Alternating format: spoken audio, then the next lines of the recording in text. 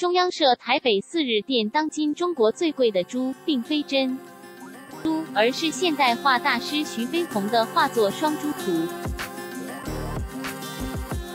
这幅画在二零一一年以港币一千五百二十二万元拍出，相当于一只猪价值新台币三千万元。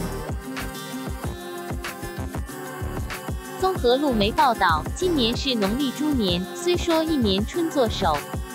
六畜猪为先，猪还是富贵、吉利、丰收的象征。但是在中国，猪却少有人画。徐悲鸿是融合中西艺术的现代画大师，兼善油画与水墨。他以画马驰名中外，被誉为称第二，无人敢称第一。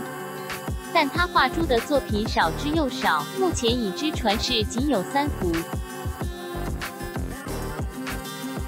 《双猪图》是徐悲鸿于一九四四年夏天画的，画上方还有他亲笔题的一首诗：“白云覆青山，静观亦自闲。”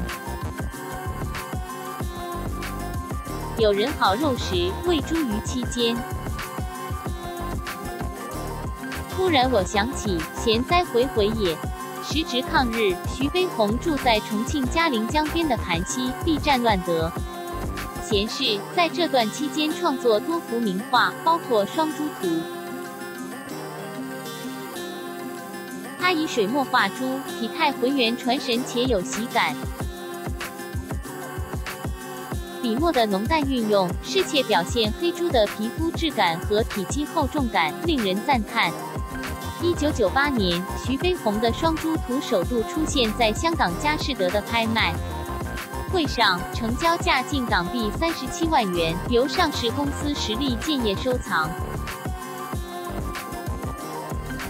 二零一一年一月，这幅画竟以港币一千五百二十二万元（约新台币六千万元）的天价在佳士得拍出，扣除税金、抽佣，仅一二年就升值三十七倍之多，平均一只猪价值新台币三千万元，被公认是中国目前最贵的猪。编辑：杨子如、林克伦，一百零八万零两百零四。